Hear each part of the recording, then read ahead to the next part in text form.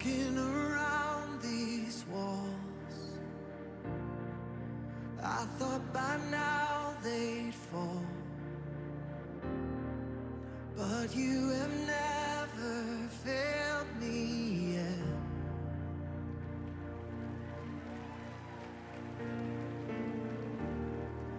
Waiting for change to come.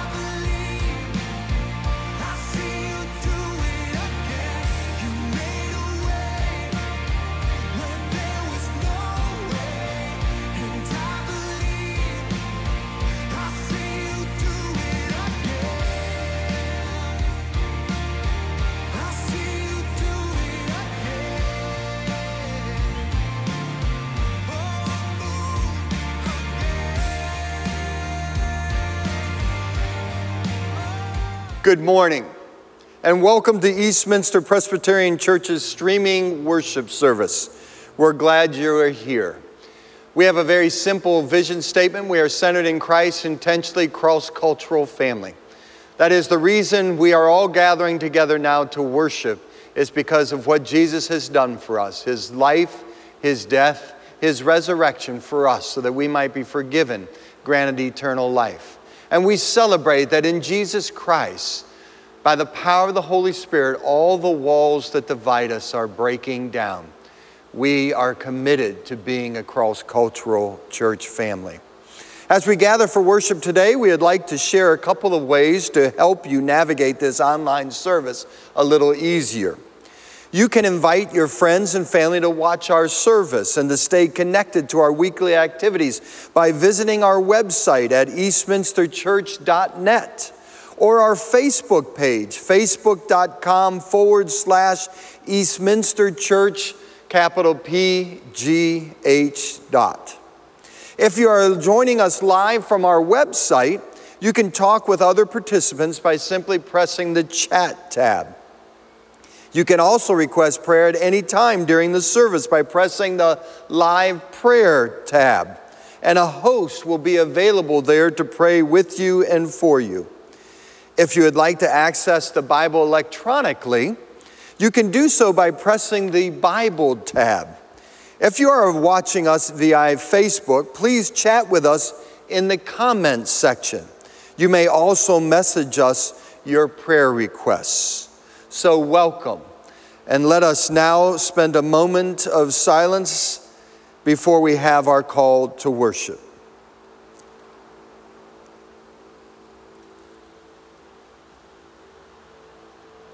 As we are called into worship today, it is sobering to remember that when God appeared on earth in a person of Jesus, most of the world did not recognize him, therefore, did not worship him. Today, we ask for the faith that will open our eyes to see Jesus for who he is, that we might worship him in truth. People of God, behold and see your God. Let us say together, we open our eyes to see his glory. We open our ears to hear his wisdom. We open our hands to offer him gifts. We open our mouths to sing his praise. We open our hearts to offer him our love. He is Lord. Let us now prepare our hearts and minds and souls for a time of worship.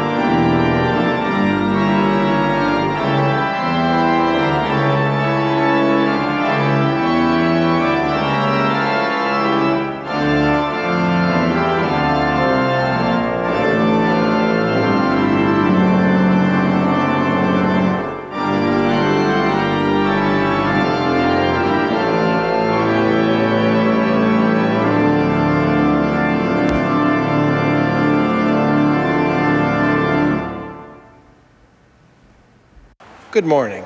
My name is Paul Wood. Thank you for joining us this morning, and I will be your liturgist today. Let us pray.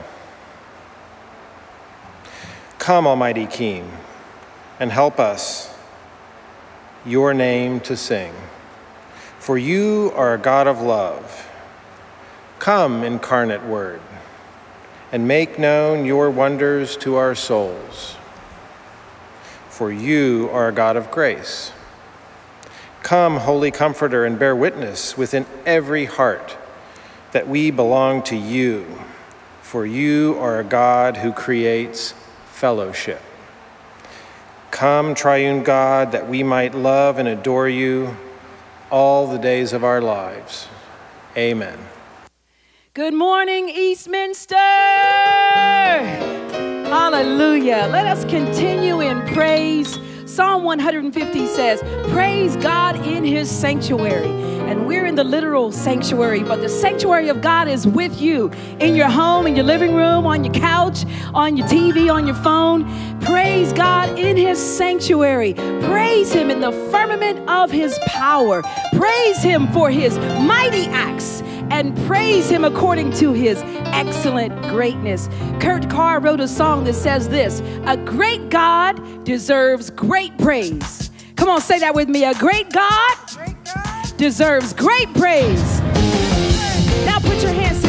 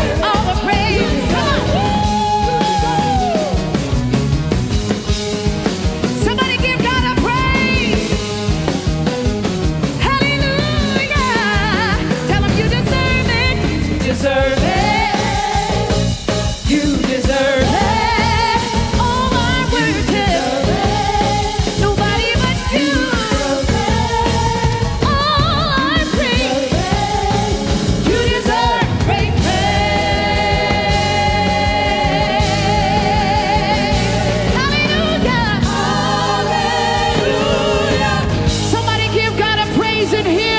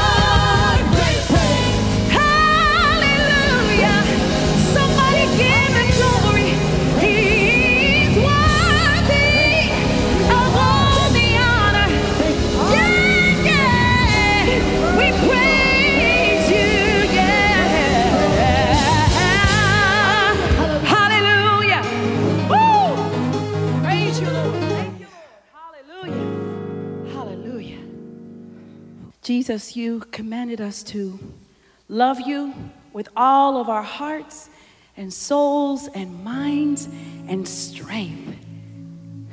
We love to worship you. We love to praise you. Come on, wherever you are, it's all right to lift your hands.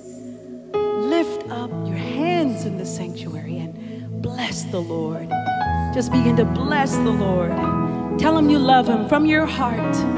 I love you, Lord. I worship you, grateful for salvation, for his mercy that's new every morning, for his faithfulness. I love you forever, and I give you glory.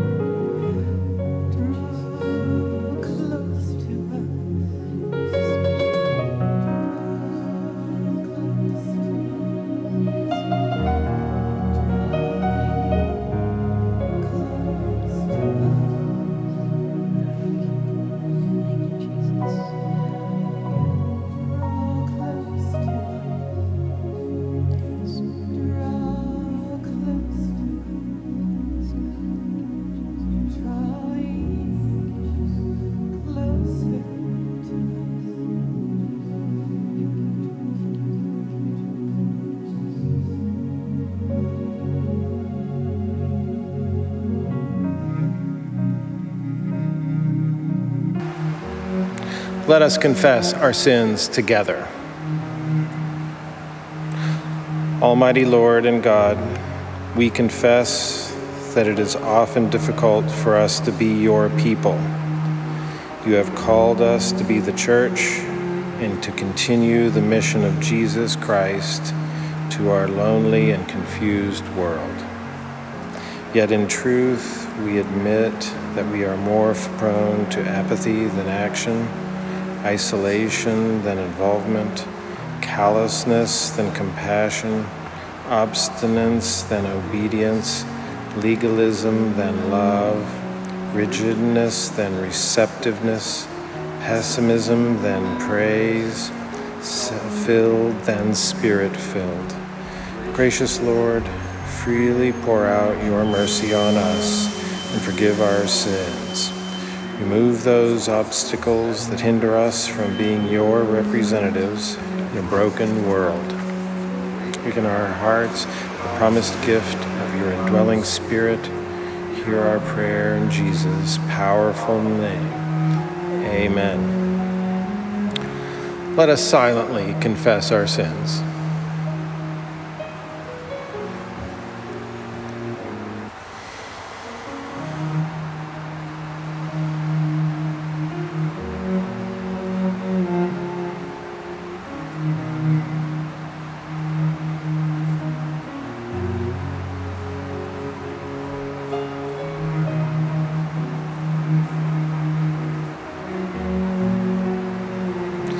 Now hear the assurance of pardon. The Lord is merciful and gracious, slow to anger, and abounding in steadfast love. He will not always accuse, nor will he keep his anger forever. He does not deal with us according to our sins, nor repay us according to our iniquities. For as the heavens are high above the earth, so great is his steadfast love toward those who fear him. As far as the east is from the west, so far he removes our transgressions from us. As a father has compassion for his children, so the Lord has compassion for those who fear him. That's Psalm 103, verses 8 through 13. Please join us in singing hymn number 429. Lord, you give the Great Commission.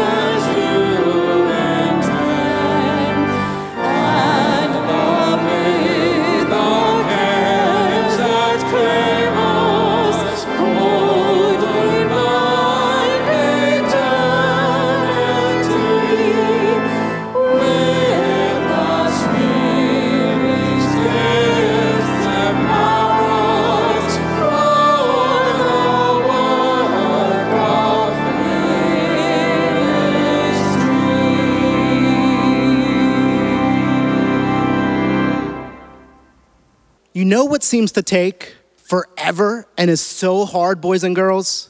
Whenever your mom or dad tells you to clean your room, it just seems like it always is so hard and takes so long. I remember when I was little, and it would just be like, whenever I wanted to do something, I always had to clean my room. And it would just be so much work. But lucky for me, I had a brother and I had a sister. And they oftentimes listened to me because I was the oldest brother. And if I would tell them to help me clean the room, then my brother and my sister would sometimes come, and all three of us together would clean the room. And you know what? It went a lot faster and it was a lot easier with three of us cleaning the room than just myself cleaning the room. And it's probably true for you guys that have brothers or sisters, or maybe if your mom or your grandma or your dad or your, one of your friends helps you to clean your room. It's a lot easier when we do things with other people to help us. And you know what? I wanted to talk about a time where people work together to help to accomplish the same thing. I don't know if you ever thought about this, but back before there were fire trucks that drove down the road and helped put out fires, did you ever wonder how people put out fires? Well, in case you did or didn't, I'm gonna tell you the answer. Back in the day, people used to put out fires by things called bucket brigades. So I have here a bucket, and if you could imagine that, let's say that behind me, everything was on fire. And I had one bucket, and I took this bucket, and it's not filled with water, but if it was, and I splashed that one bucket filled with water on the fire, do you think that would put the fire out? No, it definitely would not. But let's say that I had hundreds of people with hundreds of buckets, and we were all throwing the buckets filled with water onto the fire. That would put the fire out. So there's pictures of bucket brigades that you guys can see so that you know what bucket brigades look like. It's lots of people working together to help put out the fire because they couldn't do it by themselves. But when lots of people work together to do the same thing, things get done. Fires even can get put out. Jesus talks a little bit about something about this in Matthew chapter 9. He says this in verses 35 through 38. It says that Jesus continued going around to all the towns of village, teaching in their churches and preaching the good news about the kingdom of God. And he was healing every disease and every sickness. But when he saw the crowds of people, he felt compassion. He felt sad for them because they were upset. They were like sheep without a shepherd. So he said to his followers, his disciples, he said, The harvest is abundant, but the workers are few. Therefore, pray to the Lord of the harvest to send out workers to help him with his harvest. So Jesus was upset because people were suffering, people were sad, people were being treated wrong. So it's almost like with his disciples, with his followers, he formed a bucket brigade to help put out the fire of the wrong things in this world. And you know what, boys and girls, today, Jesus still calls us his disciples. We're supposed to be Jesus' followers.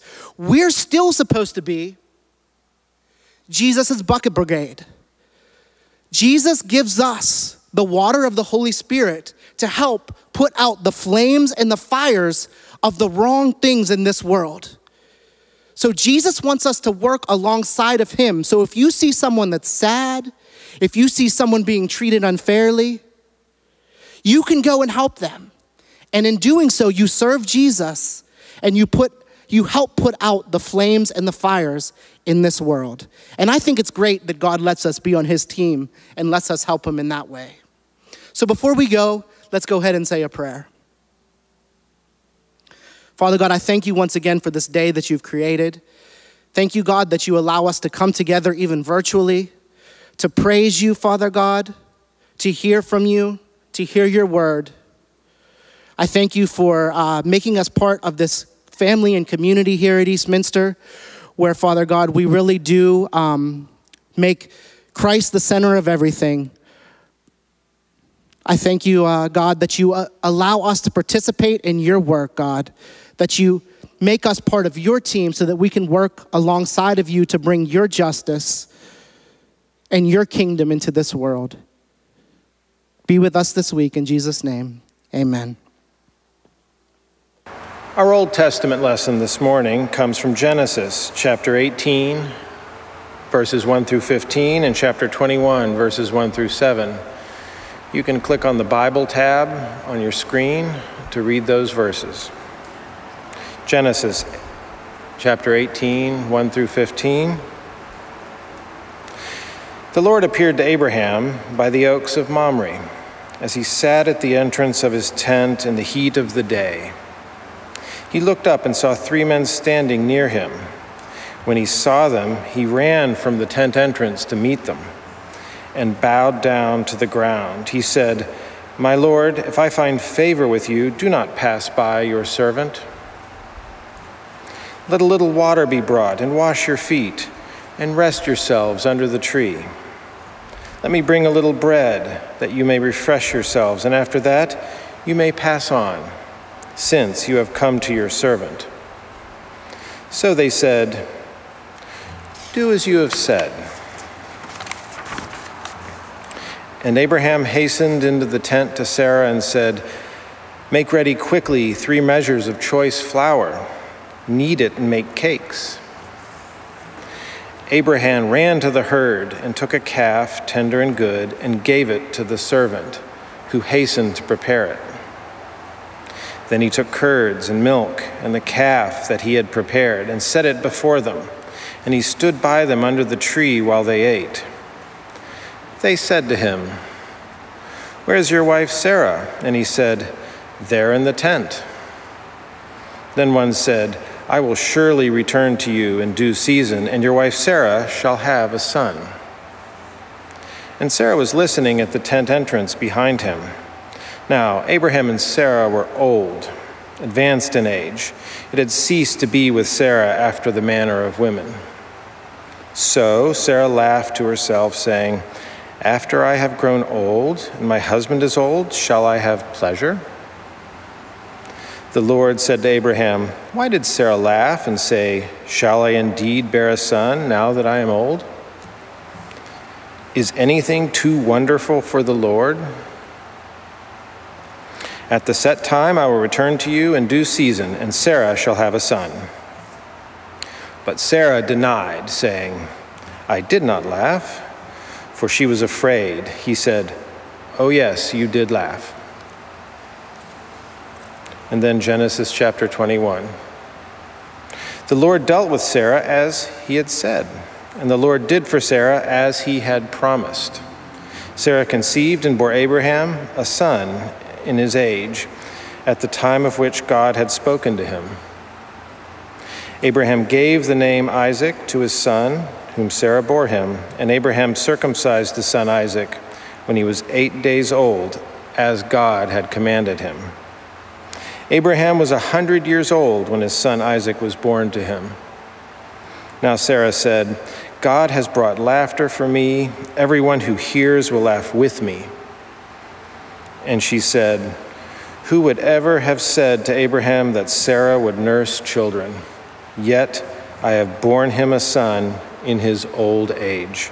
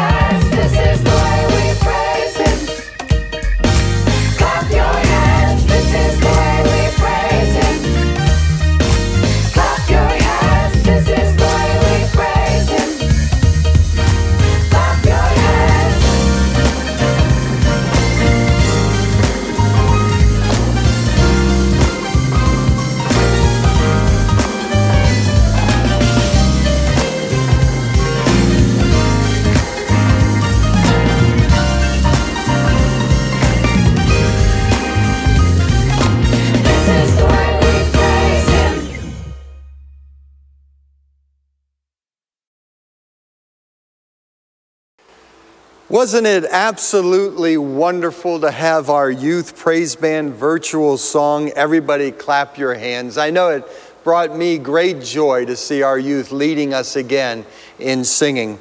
We now move to the New Testament lesson. Our New Testament lesson comes from the Gospel of Matthew, the ninth chapter, beginning with the 35th verse and going to the 10th chapter, verse 8. So please open your Bibles to God's holy word, the Gospel of Matthew, the ninth chapter. Then Jesus went about all the cities and villages, teaching in their synagogues and proclaiming the good news of the kingdom, curing every disease and every sickness. When he saw the crowds, he had compassion for them because they were harassed and helpless, like sheep without a shepherd. Then he said to his disciples, The harvest is plentiful, but the laborers are few. Therefore, ask the Lord of the harvest to send out laborers into this harvest. Then Jesus summoned his 12 disciples and gave them authority over unclean spirits to cast them out, to cure every disease and every sickness.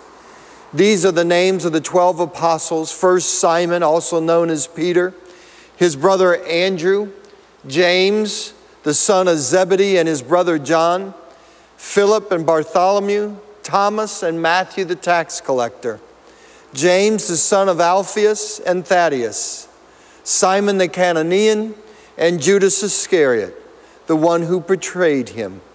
These 12 Jesus sent out with the following instructions Go nowhere among the Gentiles, enter no town of the Samaritans, but go rather to the lost sheep of the house of Israel. As you go, proclaim the good news. The kingdom of heaven has come near. Cure the sick, raise the dead, cleanse the lepers, cast out demons. You receive without payment, give without payment. The gospel of our Lord Jesus Christ. Praise to you, Lord Jesus Christ. Let us come together in prayer. Gracious and heavenly Lord, we thank you for this opportunity we have to gather around your word this morning. And we pray, O Lord, that as we gather around your word, your Holy Spirit would come upon us and open our ears so that we would be able to hear your word for us today. That you would be able to open up our eyes by the power of your Holy Spirit so that we would see your presence with us today. That you would open up our hearts and our souls so that we'd be able to feel your presence, the indwelling of your spirit into us. And come, Holy Spirit, and enter our minds so that our thoughts might be transformed by your thoughts. And gracious Lord, we pray that the words come forth from my mouth would be acceptable unto you, my rock and my redeemer.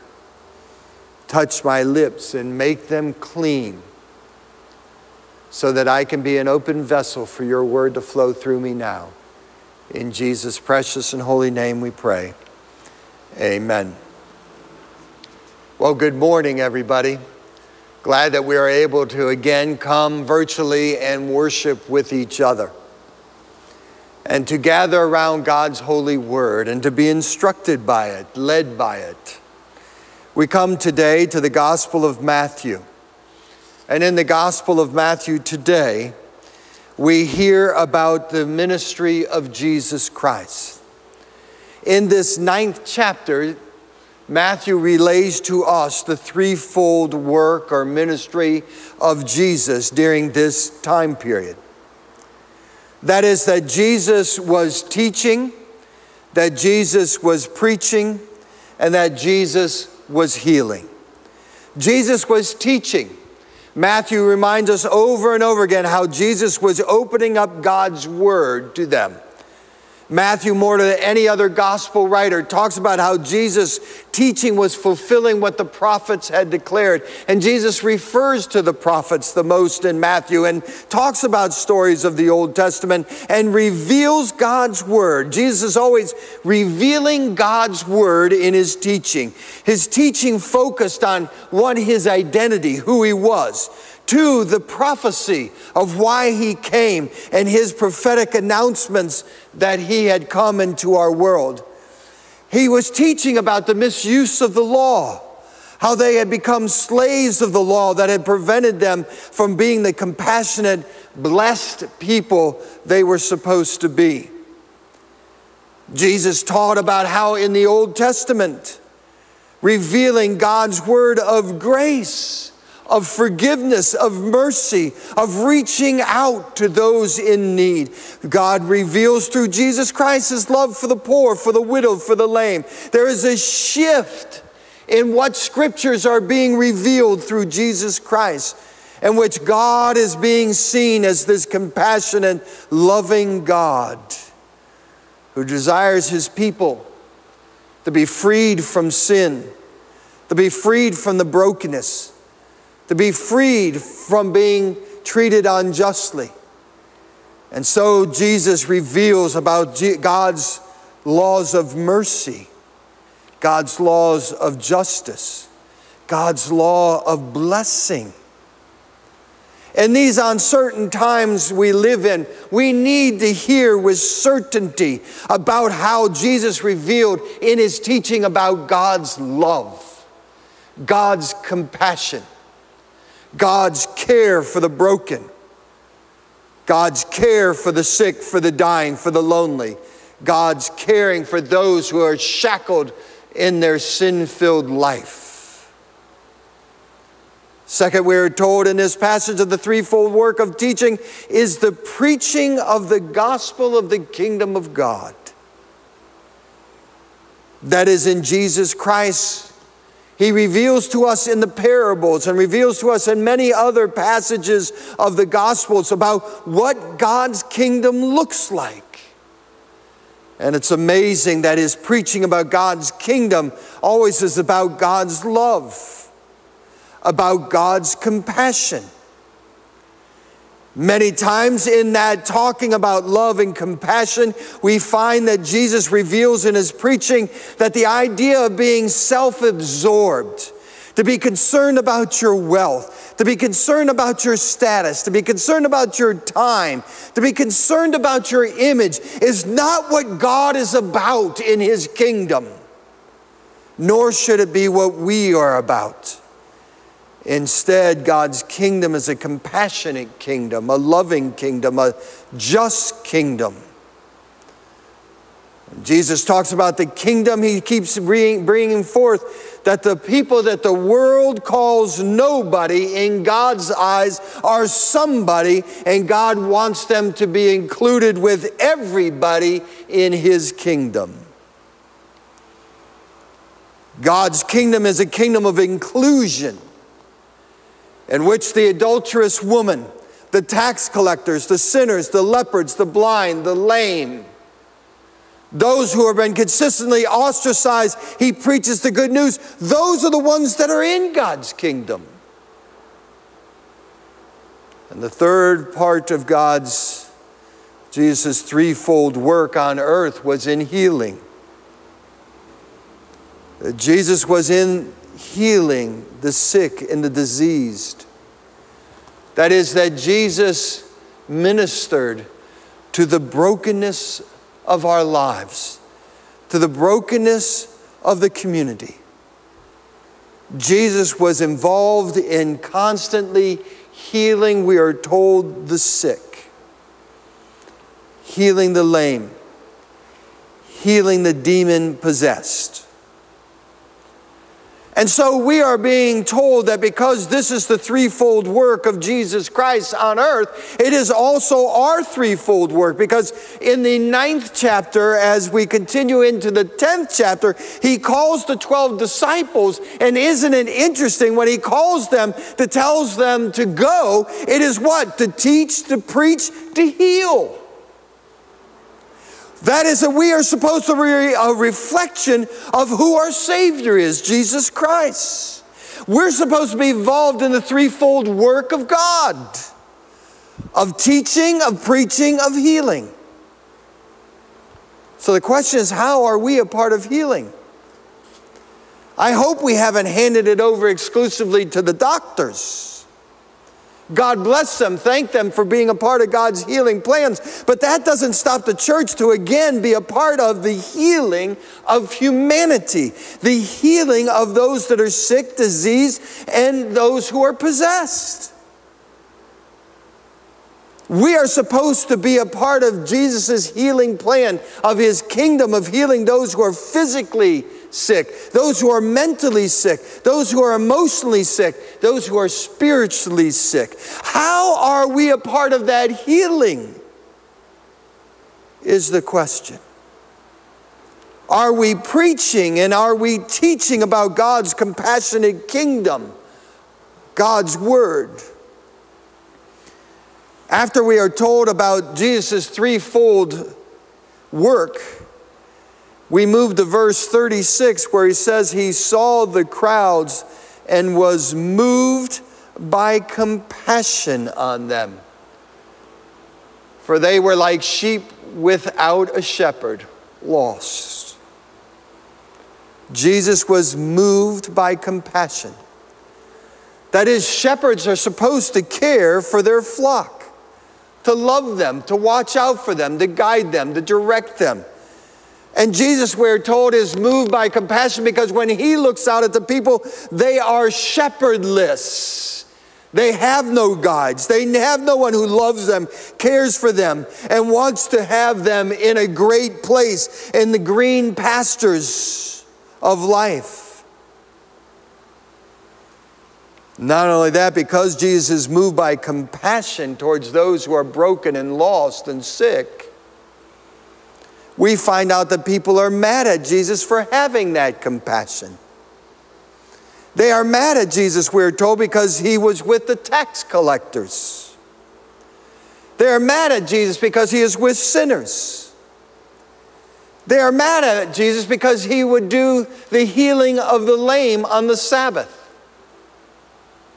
They were mad at him because he went out to heal those who are demon possessed and accused him of being demon possessed. And that's why Jesus, looking out at the crowd, we are told, at those that had gathered around him, had compassion because they knew, he knew that the, the shepherds of Israel were neglecting them, abusing them, not caring about them. But Jesus did. And Jesus is asking, I think, us, how well are we doing at being his called shepherds? How are we doing at being moved by compassion? Are our politics moved by compassion? It doesn't matter to me if you're Republican, Democrat, Independent, whatever you are. I ask this question Do you feel that your political leaders are moved by compassion? Is that their primary motivating force? If not, let's get the right shepherds in there that are moved by compassion to care for their constituencies. Same thing for the church, their leaders. Are they moved by compassion? Is that's what motivates them? In our business world, are our business leaders moved by compassion like Jesus was moved by compassion? Is our legal system, are our district attorneys, our lawyers, the whole legal system, are they moved by compassion? We have had an uprising about policing. And at the heart of it, it's a question of compassion. Do we feel that our police officers are moved by compassion? Is that what motivates them because they care about the community? They love the community. They're willing to sacrifice for the community. Is that their primary motivation?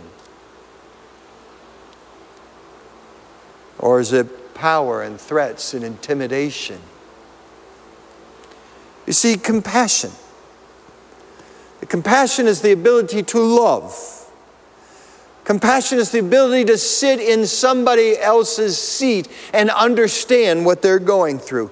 Compassion is to stand in somebody's shoes. That is to understand their condition, their brokenness. It is to have a desire to care about those who are being treated unjustly, care about those who are sick, to care about those who are broken, to care about those who are lonely. That's what it means to have compassion. And God is calling forth us to be leaders in compassion. That's the certainty that people of our community, of our nation, and our world are looking for. They're looking for the certainty in politics and business and legal system and policing in the church itself. They're looking for the certainty that the people who are leading are compassionate. They love and care and willing to sacrifice, not concerned about their power, about their own goods, but are willing to give of their time and commitment to those who are the least. Think about it for a minute. It says that Jesus moved by compassion. Over and over again, we're told in the gospel that this is what motivated Jesus. Jesus was moved by compassion to the world's pain. In Matthew, the 14th chapter, verse 4, it says he's moved because of sickness. In Matthew 20, 34, it says he was moved compassionate because the man, men were blind. In the ninth chapter of Matthew, we're told that Jesus is compassionate. He is moved because of the man possessed with a demon. Jesus is compassionate. He is moved by the world's pain. Are we? We're told that Jesus was moved by the world's sorrow. Think of the story of the widow of Nain who, having a child who had died, we are told that Jesus was seeing her grieving and was moved because he does not want the tears of grief and instead brings the child to life. Think about how Jesus was moved by Mary and Martha and the death of Lazarus and their grief and their sorrow, and Jesus is grieving and sorrowing with them and calls forth Lazarus to come out of the tomb because Jesus is moved by the world's sorrow. The world's sorrow is his sorrow. His heart breaks for the sorrow of the world's. Believe me, Jesus is moved by the sorrow of the communities that are right now crying because of those who have been murdered, those who have been lynched, those who have been shot to death in their beds. Jesus is moved for the sorrow. Are we? We're told that Jesus was moved by the world's hunger. In Matthew 15, looking around at the crowd, he sees they're hungry. They have had no food to eat, and it says that he was moved by that and fed the 5,000. Jesus, we're told, is moved by the world's loneliness. In Mark 1, verse 44, the leopard has been banished by society because of his disease, and Jesus was moved and healed the leper. In Matthew 9, Jesus is moved by the tax collector and the sinners and went and dined with them, proclaiming the good news of the gospel. When Jesus is, is, is presented with the woman caught in adultery, he is moved. He has compassion.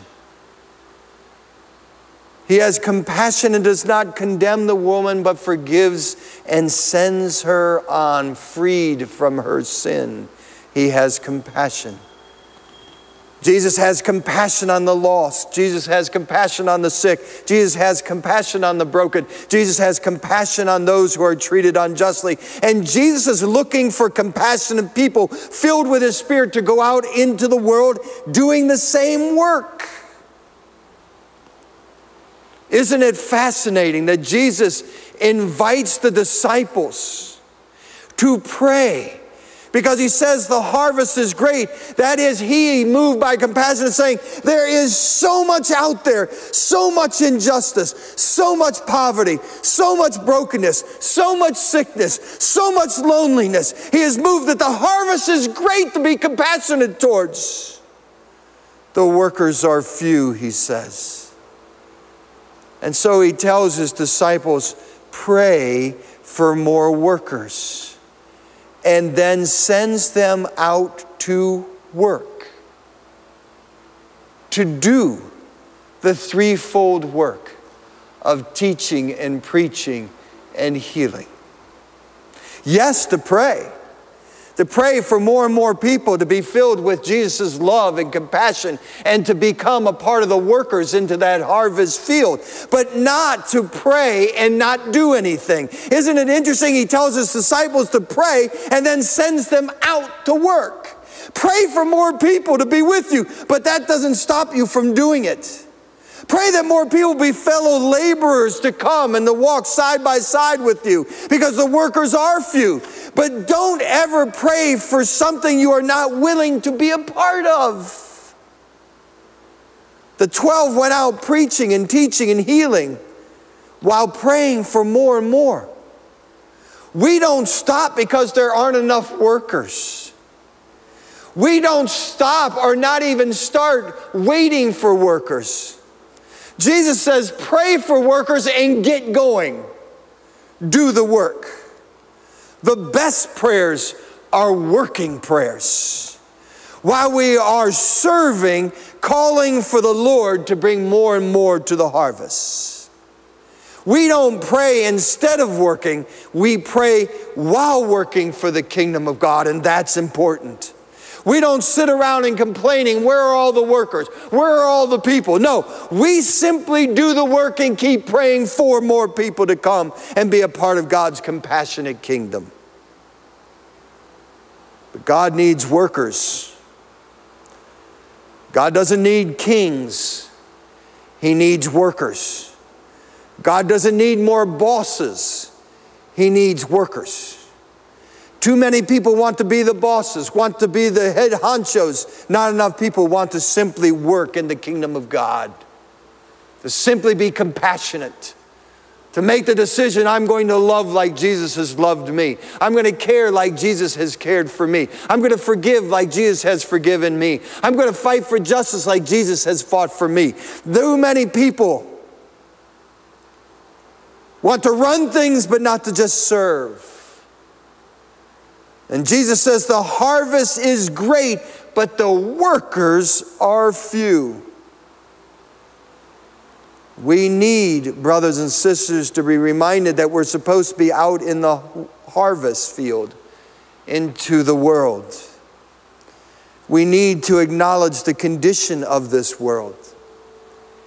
We are in the midst of a health pandemic, an economic pandemic, and a racial pandemic. The harvest is great.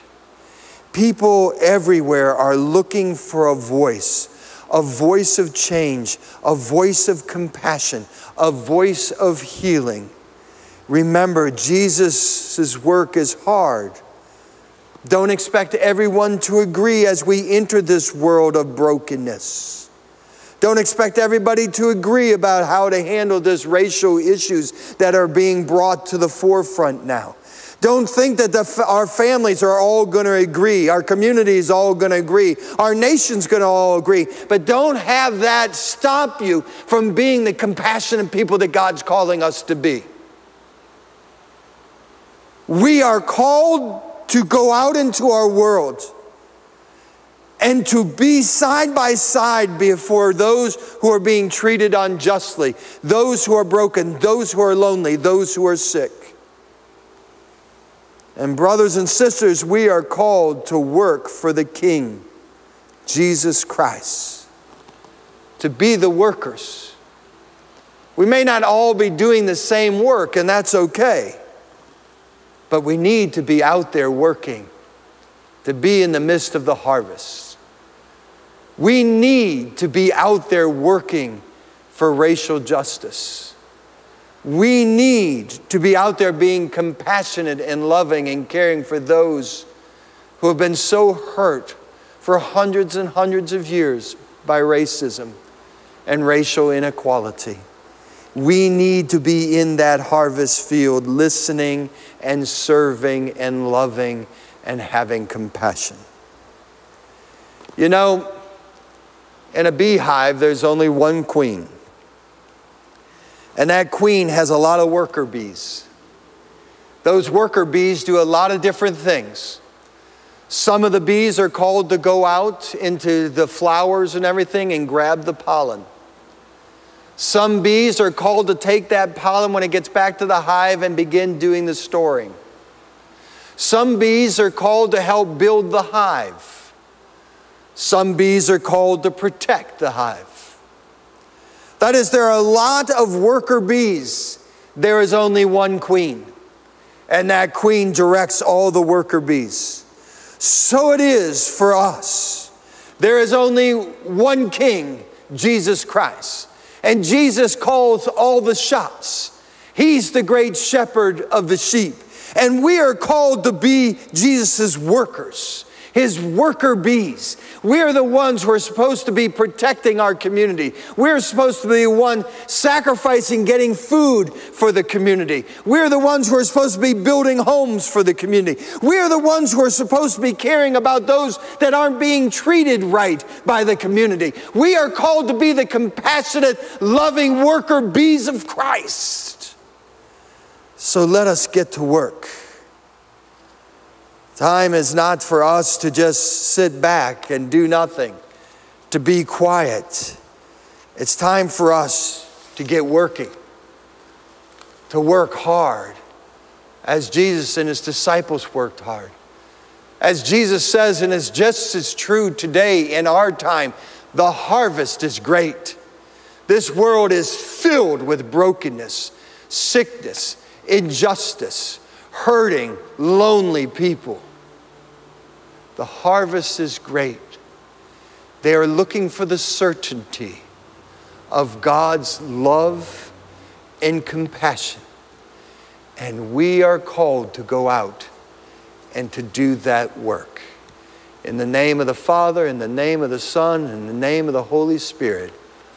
Amen. Won't you gather in prayer with me now?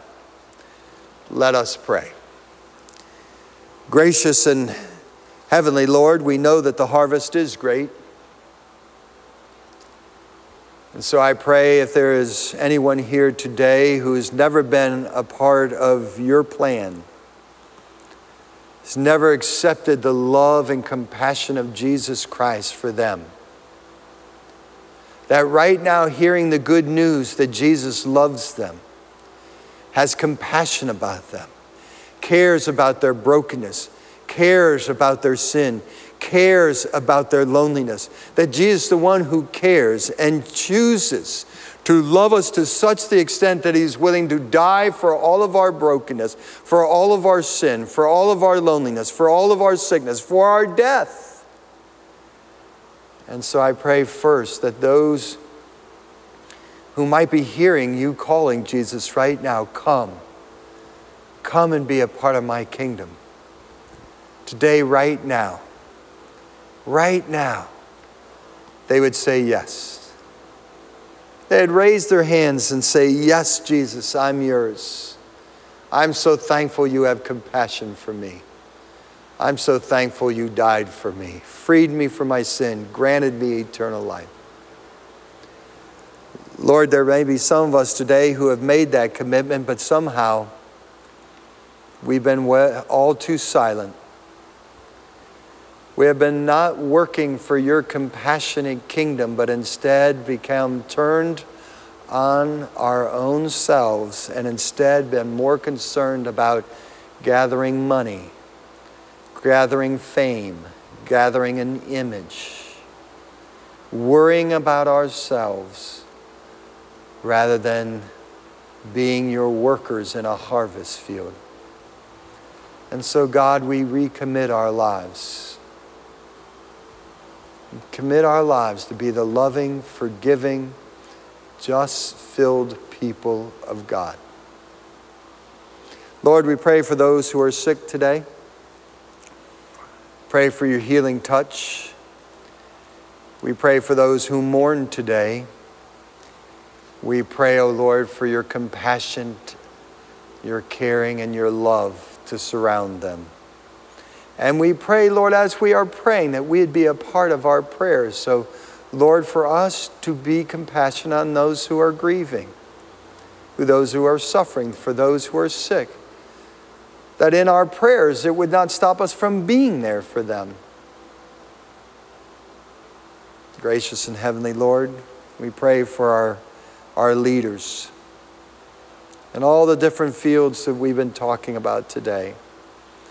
We pray that they turn to you, seek your wisdom and your guidance, and would hear your voice of compassion and love.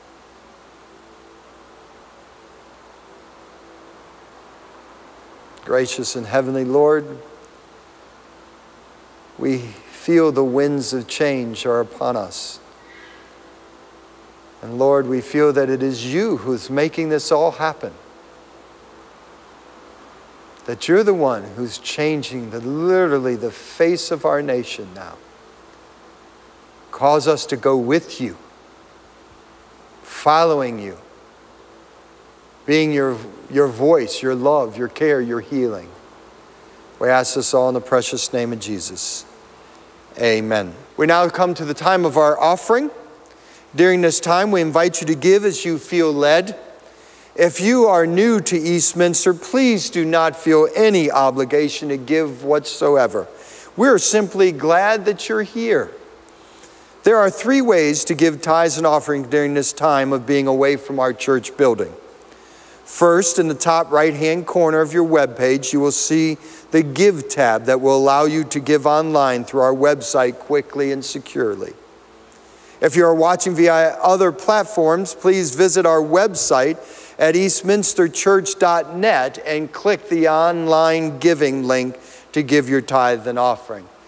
Lastly, you can continue to give by putting your tithe and offering in an envelope and mailing it to the church at 250 North Highland Avenue, Pittsburgh, PA 15206.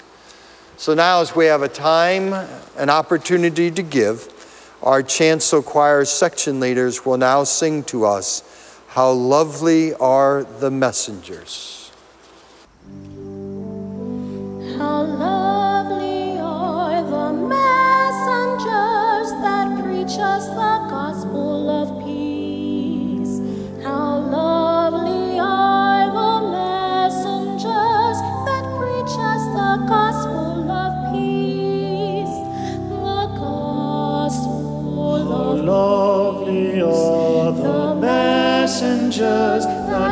that preach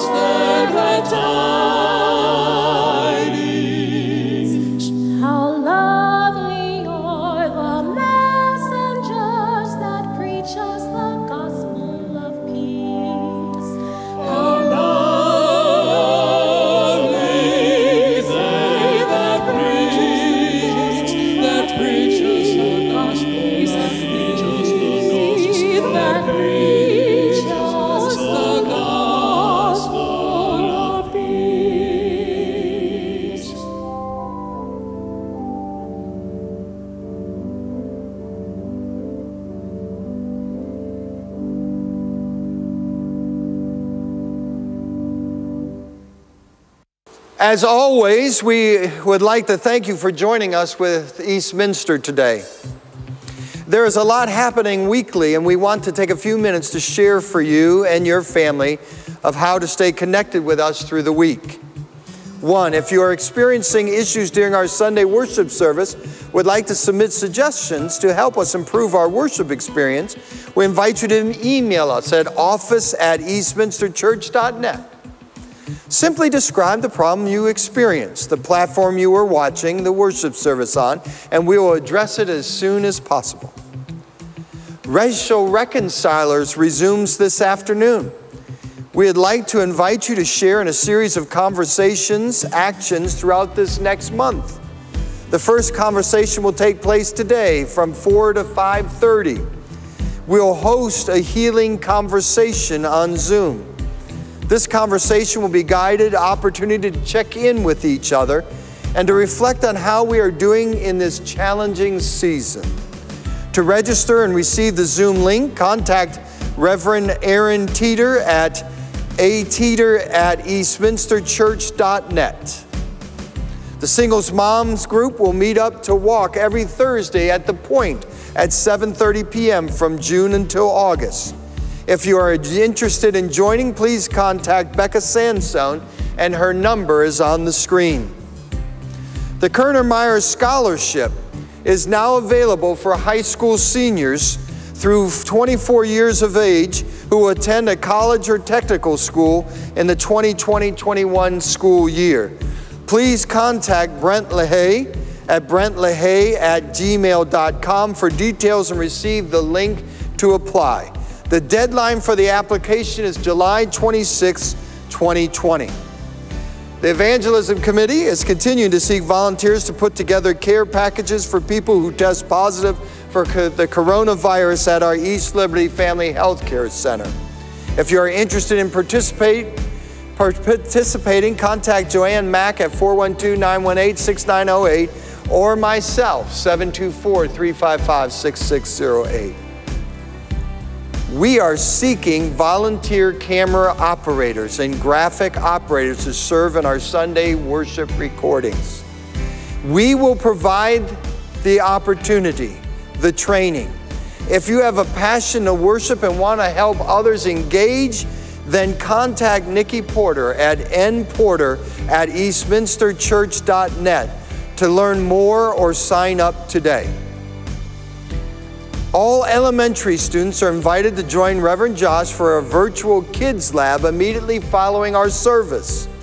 Parents, please email Reverend Josh at jbarna at eastminsterchurch.net for more info or to receive the Zoom link. Those are our announcements for the week. We invite you to visit our website, eastminsterchurch.net, for all our regularly scheduled weekly activities. Thank you for joining us today. We will see you right back here at 10:30 a.m. next Sunday. You are invited to stay online and fellowship through the chat or comments on Facebook while listening to music and viewing the announcements after the service. Now, please join us in singing our closing hymn, Guide Me, O Great Thou Jehovah.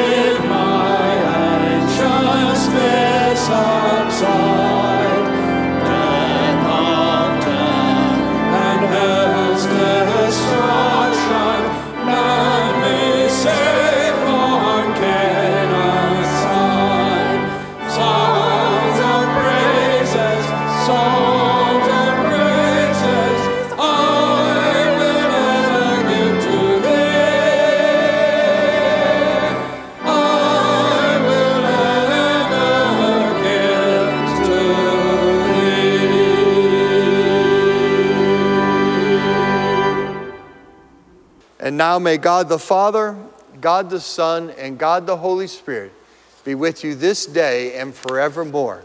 And let the people of God say, Amen. Welcome to our fellowship time.